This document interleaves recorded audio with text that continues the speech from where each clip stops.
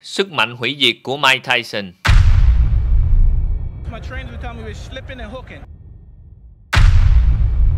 Một kết quả gây tranh cãi của trọng tài.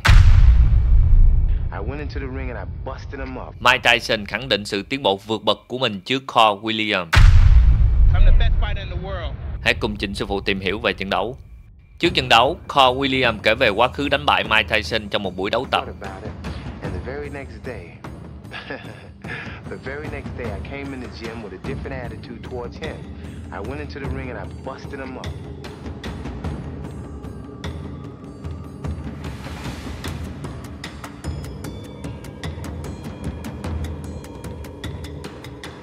Lúc đó Mike Tyson chỉ mới 15 tuổi When he sparred me, I was 14, 15 years old, and he couldn't kill me then. And now I'm five times, ten times the fighter now.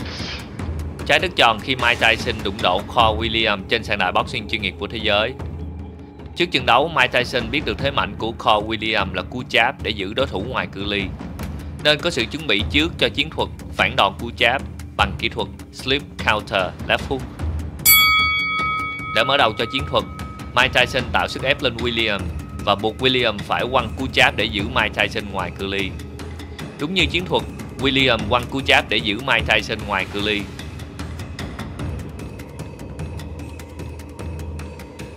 Mike Tyson bắt đầu chiến thuật né phản đòn cú cháp của William.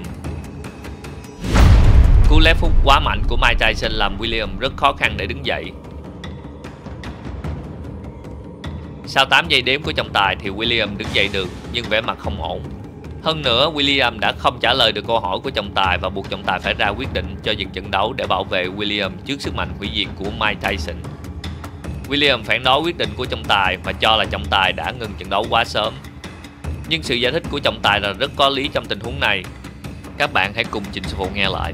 When a fighter is knocked down, the first thing he wants to prove when he gets up to the referee is that he's in good shape. Number one, he wasn't standing on his feet, he was leaning on the ropes. Number two, he couldn't answer me. And number three, his eyes were dead. Theo các bạn thì tình huống này phải xử lý như thế nào?